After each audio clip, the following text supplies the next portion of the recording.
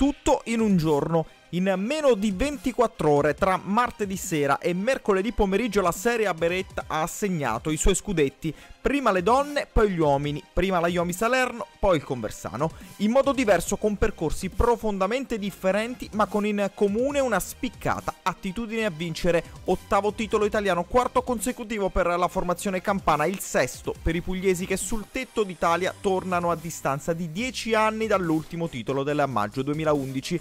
In comune, oltre alla propensione per le vittorie, Conversano e Salerno hanno anche un altro dato che merita di finire in copertina. Primo scudetto seduto in panchina per Laura Avram e per Alessandro Tarafino, due che la propria bacheca personale l'avevano già riempita diffusamente da giocatori. Affamati di trofei sul campo, se lo saranno entrambi allo stesso modo anche da allenatori per tutti gli altri. Fidatevi, ci sarà di cui preoccuparsi. Scudetto in meno di 24 ore ma cammini differenti, si diceva. Per Conversano era solo questione di tempo, è stato stato, ironia della sorte, quasi un favore tra pugliesi con Fasano che martedì sera batteva 35-31 Sassari regalando ai biancoverdi l'assist per chiudere i giochi al Pala San Giacomo in casa contro Bolzano. Detto fatto, nemmeno la forza degli altoatesini ha rappresentato un ostacolo. Conversano fa festa nella stagione della triplete Supercoppa a dicembre, Coppa Italia a febbraio, ora la Serie A Beretta. Chapeau!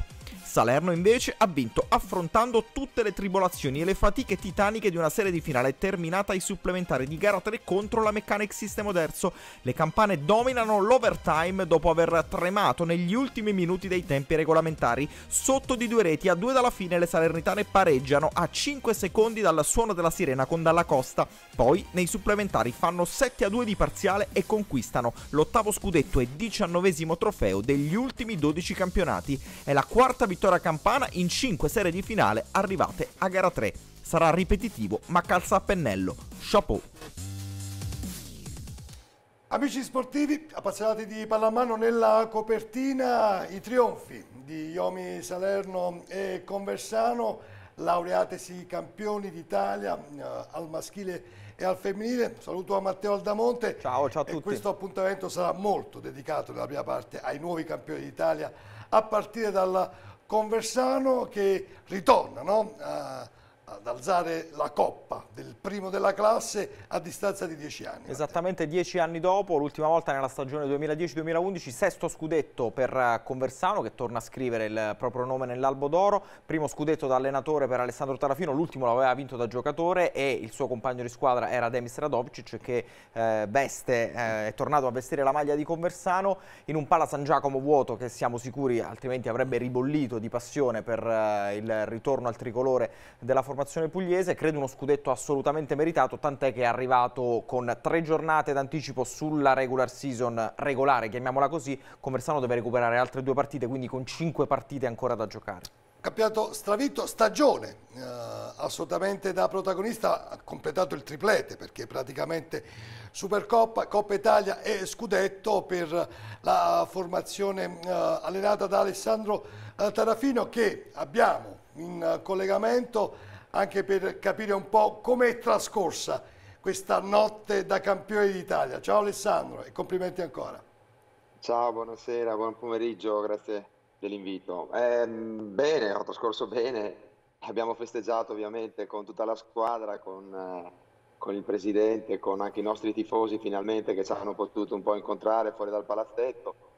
E è stata veramente un'emozione incredibile per tutti quanti, è una cavalcata penso eh, speciale perché nessuno se lo aspettava all'inizio dell'anno, eh, tre successi eh, di questo tipo insomma era, era impensabile. Uh, Alessandro, ciao, innanzitutto complimenti. Prima di farti la domanda, quella tradizionale, che cosa si prova a vincerlo da allenatore dopo che l'hai vinto da giocatore, che cosa cambia e così via, quella poi ci sarà modo di farla sia a te che, che a Laura Abram. No, volevo chiederti invece che emozione è? Perché praticamente eh, tu con l'attuale dirigenza avete in qualche modo avviato questo progetto di Conversano e con alcuni giocatori che fanno ancora parte di questo organico molti anni fa combattendo per la salvezza. Io mi ricordo i primi anni in cui davvero Conversano nel campionato a tre gironi faticava per eh, riuscire comunque a mantenere la massima serie e oggi siete sul tetto d'Italia, è stato un cammino lungo piccoli tasselli un anno dopo l'altro, prima la finale scudetto persa a gara 3 con Fasano, poi l'anno scorso il campionato si è interrotto, alla fine quest'anno veramente avete dominato la scena. Sì, hai detto bene, è stato un lungo percorso, durato otto anni da quando ho preso la panchina, ma sono cambiate tante cose da quel, da quel primo anno. Ehm, abbiamo fatto tanta strada sia come società che come organizzazione, che anche diciamo, nel parco giocatori sono cambiati, sono arrivati tanti giocatori, sono cambiati tanti giocatori.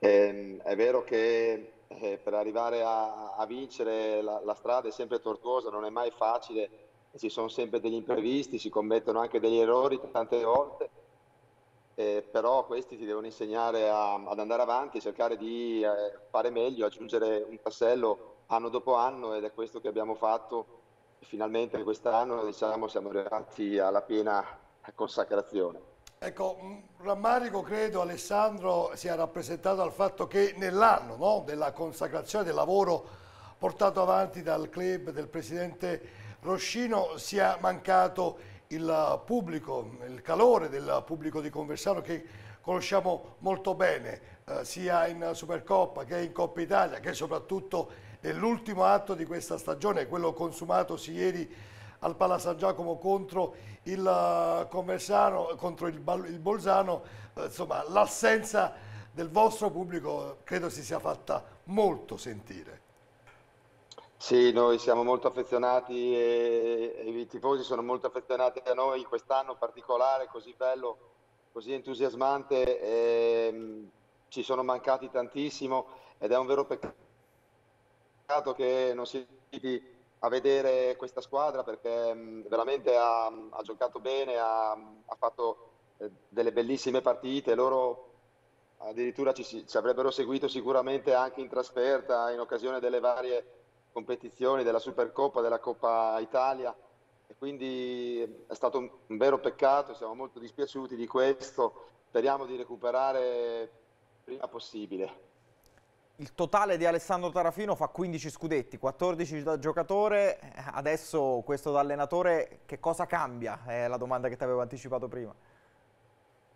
Ma le emozioni penso siano le stesse, cambiano, cambia poco, cambia, ti senti più responsabile, hai sicuramente forse più tensione eh, quando sei in panchina perché non riesci a, a scaricare in campo tutta l'adrenalina, quando sei giocatore devi pensare a giocare, a, eh, a fare le, le, azioni, quando sei in panchina invece è un po' diverso, pensi un pochettino a tutto e questa è un po' la differenza che più, più visibile. Per il resto rimane tutto uguale, c'è la tensione pre-partita, c'è l'adrenalina, c'è la gioia, c'è la, quando vinci e ovviamente anche la delusione quando, quando perdi, quindi non cambia nulla. Ecco, Alessandro, volendo mh, mm, mm, operare un po' un excursus, no? l'anno passato il Covid ha fermato la stagione, ma ricordiamo che il Commerciano era comunque in testa alla classifica, ha chiuso virtualmente in testa quella eh, classifica, poi eh, insomma portata a termine ma non ufficiale sulla base di parametri eh, aritmetici.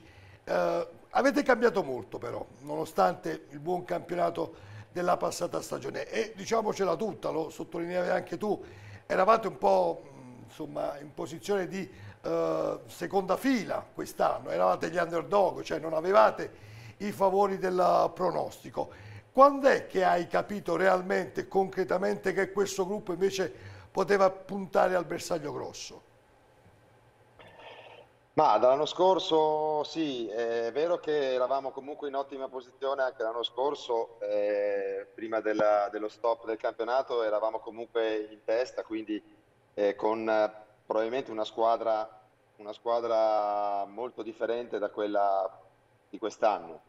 E sono arrivati giocatori quindi altrettanto, altrettanto buoni, però non era scontato riuscire a dare continuità al lavoro che abbiamo iniziato e, ehm, per questo devo dire eh, un, doppio, un, doppio, applauso ai, ai, ragazzi perché mm, hanno trovato subito la sintonia tra loro, soprattutto l'impegno e mm, lo spirito che hanno avuto quotidianamente, giorno dopo giorno, veramente sono stati eccezionali, non, non smetterò mai di ringraziarli veramente perché hanno, hanno creato veramente qualcosa di unico, di ripetibile che penso si ricorderà eh, per anni, soprattutto qui a Conversano.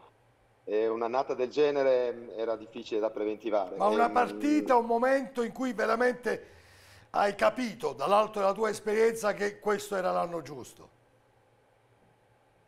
Ma probabilmente abbiamo raggiunto la consapevolezza dopo, dopo, la vittoria della Supercoppa lì col Bolzano sempre, che è stata una, una partita durissima, eh, spettacolare, bellissima anche, e conclusa vittoriosamente ai rigori, però eh, veramente lottando fino all'ultimo e capendo anche fino a che punto forse potevamo arrivare. Ecco, questo è stato il merito di quella partita.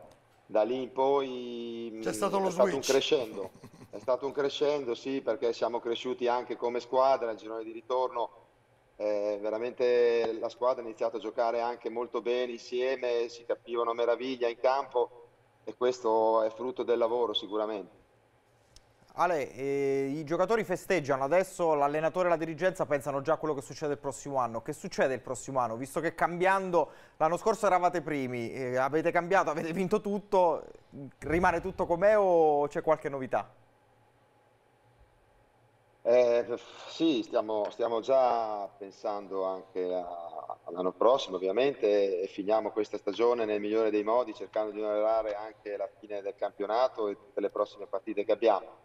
Si pensa con un occhio anche alla, alla stagione prossima. Il presidente Roschino è sempre molto ambizioso e, e vuole sempre fare le cose bene, nella maniera giusta, ci mette sempre nelle migliori condizioni per poter uh, lavorare quindi credo che si debba fare un ulteriore passo in avanti.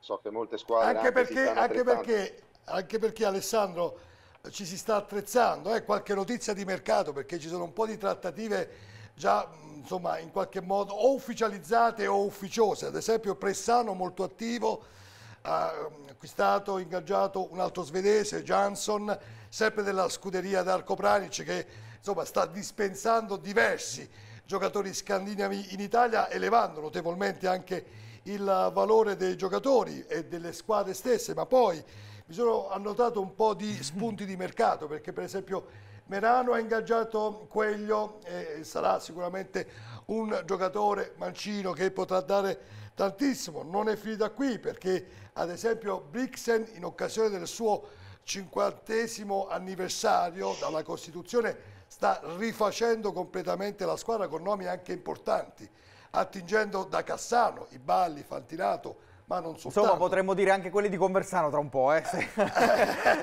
Ci stiamo arrivando, eh? Perché dopo, adesso... Eh? Diteli dopo. Quando eh, no, no, diciamo ora, no, perché insomma par condicio, per esempio Possamai e Moretti sembrano ormai indirizzati già verso la Puglia, così come Alilkovic ritorna in Italia per giocare a Sassari. Ecco, un po' di pallamano mercato, questo a testimonianza dell'effervescenza del movimento, no Matteo? Eh sì, anche perché, ecco, ci sono diverse squadre, perché l'ha detto anche Tarafino, eh, Conversano non partiva con i favori del pronostico, vuol dire che qualcuno i favori del pronostico ce li aveva, qualcuno non ha vinto quest'anno e quindi vorrà provare vorrà Certo, Alessandro, che anno. tutti questi movimenti ti fanno ben capire che c'è poco da, insomma, rilassarsi, eh? insomma, godersi questo scudetto per poco tempo, perché poi bisogna già pensare al futuro. Esatto, sì, no, ma a me fa piacere vedere questo fermento, vuol dire che la pallamano italiana si, si vuole, vuole, avanzare di livello, vuole crescere, è importante eh, dare sempre una, un, buon, un, buon, spettacolo ai tifosi e a tutti gli appassionati, quindi questo farà sicuramente bene al campionato. Bene.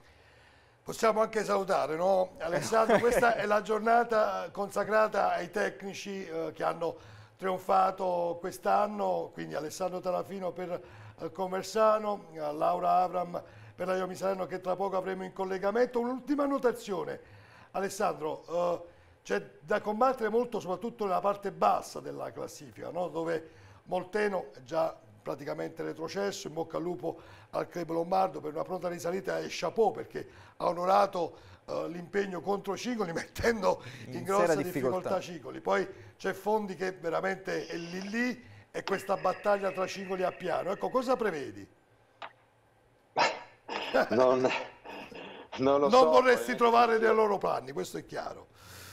Sì, è veramente complesso, sì, la situazione lì per la salvezza, ehm, sicuramente si deciderà tutto eh, alla fine, l'ultima giornata, ormai ne, ne mancano veramente poche, e quindi chi avrà più spunto, più ver, più voglia di vincere in questa ultima fase, eh, probabilmente la spunterà. Grazie Ale, in bocca al lupo, goditi questo momento. Grazie a voi, grazie a voi, un abbraccio. Ciao Tara. Ecco, dicevamo della lotta in coda, Matteo, veramente si deciderà tutta l'ultima giornata perché manco a farlo apposta, uno strano scherzo del calendario, proprio l'ultima giornata mette di fronte Cingoli a C'è piano. Cingoli a piano, sì, e Cingoli credo non avesse preventivato di arrivare a quella partita dovendo probabilmente giocarsi il tutto per tutto perché credo che neanche Sergio Palazzi si aspettava una sconfitta nella giornata di ieri a Molteno, contro Molteno già retrocesso, una sconfitta che è arrivata, adesso eh, deve Tanto giocare... stiamo vedendo la classifica eh, e, e, il prossimo turno il prossimo che ci aspetta dove Cingoli affronterà Fasano, una partita complicata perché Fasano è in un momento davvero di grazia perché perché ricordiamo Conversano ha vinto lo scudetto probabilmente era no sicuramente era solo questione di giornate però al tempo stesso lo ha vinto perché c'è stato quasi un aiuto tra pugliesi perché Fasano ha battuto Sassari la sera prima. Fasano che peraltro insomma, sta chiudendo increscendo questa stagione e già in qualche modo preparandosi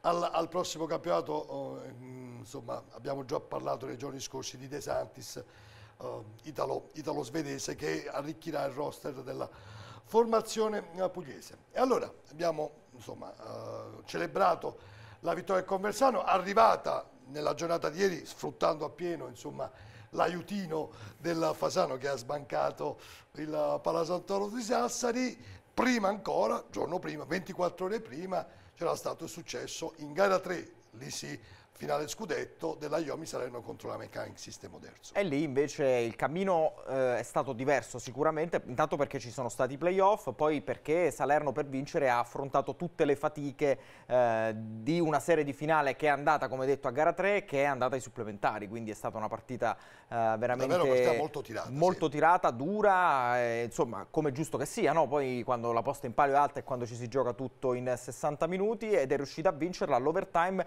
dominando di fatto i tempi supplementari perché ha rischiato di perderlo questo scudetto, ha pareggiato a 5 secondi dalla fine con Ilara Dalla Costa e poi però ha piazzato un 7 a 2 di parziale in 10 minuti di supplementari con Oderzo che probabilmente eh, sì, è, è, venuta, ormai... è, venuta, meno nelle energie mentali, sì, perché deve essere proprio crollata dopo il gol di Dalla Costa. Perché... Eh, vediamo. Allora, dovremmo avere in uh, collegamento uh, Laura Avram, il tecnico della Iomi Salerno che eh, salutiamo, ringraziamo per aver accolto il nostro invito.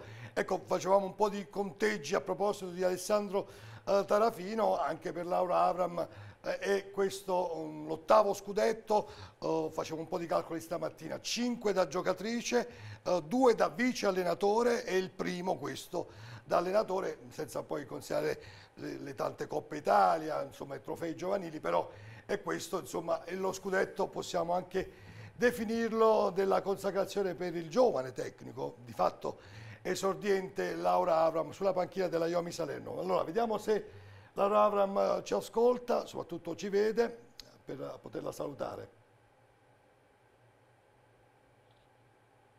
Non lo abbiamo ancora. Allora, in attesa di ripristinare il collegamento sta già provvedendo la nostra regia. Ecco Matteo, Um, è stata comunque anche nel femminile una stagione uh, molto particolare, molto complessa, caratterizzata dalle uh, problematiche a noi note a tutti, che però ha visto costantemente alla fine Salerno Oderzo sempre lì in vetta. Sì, hanno di fatto sempre condotto comunque la classifica, si sono avvicendate per un breve, per un periodo di tempo, diciamo non brevissimo, Bressanone comunque ha detto la sua, eh, forse ha anche condotto la classifica sì, per alcune giornate, sì. eh, Bressanone continua a mancare forse un pochettino di continuità allora, nei anche momenti... Anche dalla sfortuna nell'ultimo periodo. questo è fuori di dubbio e nei playoff sappiamo che tutto si può rimettere esatto. in gioco, però anche in corso di stagione, ad esempio in Coppa Italia, in questi appuntamenti diciamo che Bressanone viene sempre un pochino meno. Oderzo e, mm, e Salerno invece ci sono state, sono arrivate fino alla finale di Coppa Italia, ehm, l'ha vinta Oderzo, ricordiamo sempre le tante defezioni con cui Salerno purtroppo era arrivata all'appuntamento, alla fine si sono spartite un trofeo importante ciascuna, oltre alla Supercoppa che Salerno aveva vinto battendo Cassano Magnago. E, ehm, è chiaro che poi in gara 3 può succedere veramente di tutto. È andata... E vediamo, vediamo e chiediamo direttamente a Laura Avram quali sono state le emozioni. Intanto salutiamo il tecnico, il campione d'Italia, Laura Avram. Ciao Laura, grazie per aver raccolto il nostro invito. Ci ascolti? Salve, buongiorno. Sì, sì. Ecco, quali sono le sensazioni eh, maturate in gara 3, soprattutto mh, insomma, nei minuti finali, quando lo terzo aveva messo la freccia e vi aveva praticamente superato? Abbiamo sbagliato il tiro, mi ricordo, non, non, sono riuscita ancora a vedere tutta la partita, la riesco a vedere solo a tratti. Um, mi ricordo il tiro di Kernic davanti alla porta da sola, però ho detto che lì c'è bisogno di una reazione e dopo siamo arrivati con il tiro di Dalla Costa a pareggiare. Poi ovviamente il time out prima dei supplementari ci ha permesso di resettare un pochino tutto e cacciare fuori il carattere. Eh, la domanda che volevo farti Laura, ciao, innanzitutto e complimenti, è, è più ampia sul Beh. lavoro che hai portato avanti a Salerno da quando hai avuto modo di prendere la squadra, perché ricordiamo, tu hai preso in mano la squadra dopo eh, le, le, dimissioni di Rupez e hai subito perso una Supercoppa e questo sì. magari non ha, sicuramente non avevi né demerito né avuto tempo per mettere eh, la mano sulla squadra, per mettere il tuo imprinting, imprinting però eh, si inizia con una sconfitta no? e per chi come te è abituato a vincere sempre non è, non è una cosa facile. Che tipo di lavoro hai portato avanti per arrivare poi ai titoli di quest'anno? ma dopo la sconfitta a Brixen che mi ricordo fu una partita ero molto carica io ero su, penso su un altro pianeta perché il carattere mi porta a fare questo il modo in cui mi impegno e quindi ero sicura di, di un risultato migliore non, non, di una sconfitta di un, un, certo peso perché non avevo tutta la squadra c'erano degli infortuni però eh, mentalmente le ragazze non erano non si erano ancora riprese dopo un po' di cose. E, ehm, e niente, poi siamo, abbiamo un pochino analizzato quello che ci è successo, non, non il risultato della, Supercop, della Coppa, ma eh, in allenamento abbiamo, abbiamo resettato tutto, ci siamo messi d'accordo e abbiamo lavorato su, sulle, nostre, sulle nostre capacità e che poi si sono viste in Coppa Italia perché lì veramente eh, abbiamo vinto sia contro, contro Derzo e sia contro Cassano di questo accadeva l'anno passato, ecco, ricordiamo a Siena l'anno passato, sì. prima poi dell'interruzione per Covid. Sì. sì, sì, le ragazze si sono riprese, il gruppo si è visto, hanno... c'era bisogno solamente di lavoro psicologico perché loro eh, si erano un, un pochino buttate giù. Eh, è giusto, sono giovani, sono giocatrici, ho fatto parte di questo gruppo, so come funziona. E poi hanno cacciato tutto a Siena. E, e poi siamo andati avanti. E purtroppo il Covid ci ha fermate perché sono sicura che eh, anche nel, nell'ultima parte per lo scudetto avremmo detto di più. Stavo apprezzando la lavagnetta dietro, dietro nello, sullo sfondo, ah, pa- palla a mano a 24 ore su 24. Ecco, sì, eh, ma proprio... ce n'ho un'altra più grande di Lama. ecco, quello che insomma è curioso poi capire, insomma, Tarafino ormai insomma, appese le scarpette al chiodo già da un po' di anni, ha avuto tutto il tempo per poter insomma, indossare i panni dell'allenatore. Tu in pratica fino a cinque anni fa hai giocato, poi hai cominciato questo percorso da vice, prima uh, di, uh, di Rupez, poi di Raic, fino ad arrivare poi al, insomma, al comando del, delle operazioni. Ecco la differenza, il passaggio da giocatore a vice allenatore mh, mm, e, e poi la responsabilità totale da capo allenatore. Io ho pensato tanto a questo perché ricordo che negli ultimi, non so, magari tu sai meglio Marcello, negli ultimi anni facevo allenatore e giocatore, allenavo il settore giovanile e giocavo. E mi sono resa conto poi con il tempo che ehm, pensi più a quello che devi fare per le mie, per le mie giocatrici, per le giovani, e quello che dovevo fare come giocatore, perché come giocatore era quello il mio lavoro, la mia responsabilità, sapevo lo spogliatoio, però la mattina mi svegliavo che pensavo di allenare, come faccio l'allenamento, chi sta bene, chi sta male. E quando sono passata poi come vice allenatore, non è stato facile perché sono uscita da vincitrice, mi ricordo. Uh, allenare e passare dall'altra parte le mie ex compagne di squadra. E quella è stata una cosa che per me personalmente dovevo superare. E, superato questo perché ovviamente dovevo capire anche dei processi che mi devo distaccare totalmente per poter avere un lavoro migliore. E come secondo allenatore ho cambiato due allenatori, abbiamo avuto sia Neven che Raio, da ognuno di loro ho preso sicuramente qualcosa di buono. E poi arrivare eh, per, la, per la scelta, per la fiducia della società come primo allenatore in un periodo del genere. E io non lo so, è, è, bello perché comunque questo è il mio, è il mio, è il mio sogno, il mio futuro. Ma non, per me non è stato facile. È stato, non è stato facile, ma è stato molto bello. Ultima considerazione, sì. Matteo, che cosa vogliamo chiedere a Laura? No, e siccome mh, tutte le volte che ho avuto la fortuna e modo di intervistarla, lei parla molto, molto, molto di più di quello che non le è piaciuto durante la partita che non di quello che, che è andato bene. Allora, su che cosa deve lavorare Salerno eh, da qui in avanti, no, per il prossimo anno?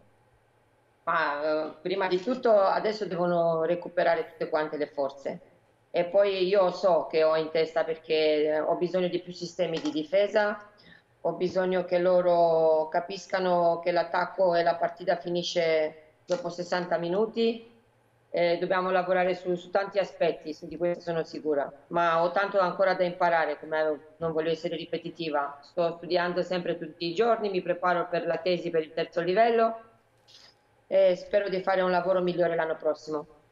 Bene, allora, buon lavoro, è il caso di dire, insomma, Grazie. poco spazio per le celebrazioni da quello che ci pare di capire. Grazie Laura Avam Grazie e ancora complimenti a te e alla squadra per questo Grazie. ennesimo eh, trionfo. Ora ci fermiamo Matteo, poi l'ultima parte la dedicheremo agli appuntamenti che ancora eh, attendono gli appassionati perché eh, abbiamo celebrato i campioni d'Italia, ma alle porte ci sono le finals per la promozione in uh, Serie A e che noi chiaramente seguiremo tra poco. Mettiti comodo e scegli tu quale partita o programma guardare. In diretta o in differita. Sul device che più preferisci. Sempre e dovunque. Tennis, paddle e beach tennis, tutorial, highlights, approfondimenti e grandi storie. La sottoscrizione è inclusa nel costo della tessera fit. Registrati su supertennix.it e scarica l'app. Matteo sta per cominciare una fase importante della stagione, non perché quella che abbiamo appena messo alle spalle eh, sia stata meno importante, tutt'altro, però ora cominciano a scadenzarsi vari appuntamenti internazionali e nazionali. Partirei da quelli internazionali. Sì, con uh, la Champions League che va dritta verso la Final Four, oggi si chiudono i quarti di finale, ieri si sono giocate due partite dei quarti delle gare di ritorno con alcune sorprese. Intanto i campioni in carica del Kiel, squadra tedesca, sono stati eliminati dopo aver vinto l'andata dal Paris Saint-Germain e poteva starci probabilmente perché il Paris Saint-Germain è una super squadra con giocatori di assoluto rilievo su tutti, nonostante l'assenza di Karabatic, Mikkel Hansen, la superstar eh, danese. Dunque il Paris Saint-Germain è riuscito a girare quello che era successo, il meno 2 della partita di andata, ma la grande notizia invece, stiamo vedendo le immagini, noi l'abbiamo seguita ieri su Sky Sport, è l'Alborg, squadra danese che eh, per la prima volta giocava ai quarti di finale e incredibilmente ha eliminato la grande favorita Flensburg, riuscendo ieri a difendere il gol di, i gol di scarto, i 5 gol di scarto che aveva accumulato all'andata, qualificandosi dunque alla Final Four. Adesso ci proveranno il Nantes contro il Veszprem e il Barcellona che è favorito contro il Mesco Brest. Ricordo che la Final Four verrà seguita il 12 e 13 giugno su Sky Sport. E chissà che questo non possa essere l'anno della consacrazione del Paris Saint-Germain dopo aver tanto investito. Eh, ora o mai più. esatto, ora o mai più. Venendo e ritornando invece nei confini italiani ci attende un uh, fine maggio inizio giugno ricchissimo di appuntamenti a partire dalle finals per la promozione in A1 al maschile e al femminile, Matteo. Tour de Force, si parte il 26 maggio per concludere il 30 maggio con le Final 6 della Serie A2 al maschile, sono stati sorteggiati i gironi, li stiamo vedendo in grafica, girone A con Noci Carpi e Torri, girone B Malo, Secchia Rubiera e Generale Lanzara, queste sono le prime e le seconde classificate dei tre gironi della fase preliminare, mentre sono otto squadre per quanto riguarda la femminile che inizia il 29 maggio e finisce il 2 giugno, Casalgrande Padana, Mezzocorona, Padova e Aretusa, Dossobuono, Brunec, Tusse Prato e Teramo nell'altro raggruppamento. Quattro squadre in entrambe le manifestazioni si qualificano e accedono diciamo, alla Serie A Beretta del prossimo anno le prime due, quindi le vincitrici delle semifinali. La finale della domenica assegna la Coppa Italia di categoria. E quindi due promozioni per la 1 maschile, due promozioni per la 1 femminile in palio a Chieti in, ricco, eh, in questa ricca settimana di gare c'è la Coppa che assegna, che di fatto determina la prima della classe del campionato di A2, anche se la finale sarà soprattutto per lo spettacolo, visto e considerato che saranno le due gare di semifinale ad indicare le squadre promosse in A1, ma comunque manifestazioni da seguire dall'inizio alla fine e lo faremo come sempre sui nostri canali. È tutto Matteo, siamo andati anche oltre qualche minuto quello che normalmente è il nostro format, però d'altronde c'era da celebrare i tecnici e i club, ovviamente ricordiamo Roscino, presidente del Commersano, Pisapia, presidente della uh, Iomi Salerno, anche perché spesso celebriamo la parte tecnica certo. e tendiamo in qualche modo a dimenticare, sbagliando ovviamente, chi invece porta avanti con grande merito queste imprese sportive. È tutto, grazie Matteo, grazie, grazie a, voi. a voi, ci vediamo settimana prossima, arrivederci.